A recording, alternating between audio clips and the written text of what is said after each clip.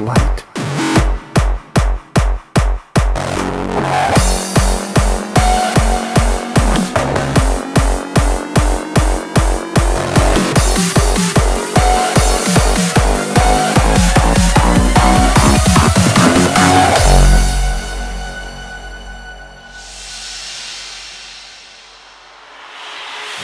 Three thousand years ago, there was a human, just like you and me, who lived near a city surrounded by mountains.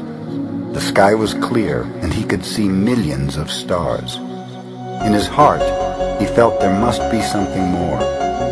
He looked at his hands, he felt his body, and he heard his own voice say, I am made of light. He looked at the stars again, and he realized that it's not the stars that create light, but rather light that creates the stars.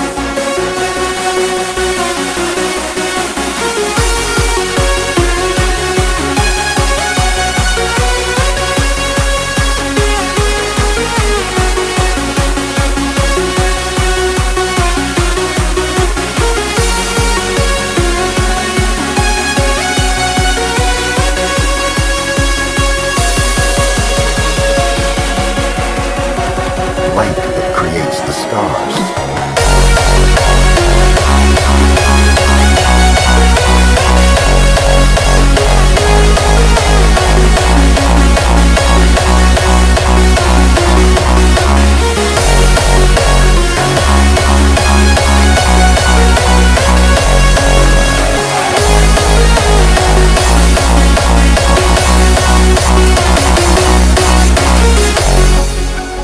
Everything is made of light, he said, and the space in between isn't empty.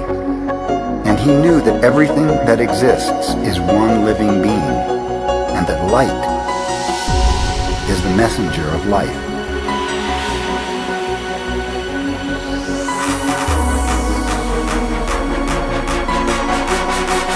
I am made of light.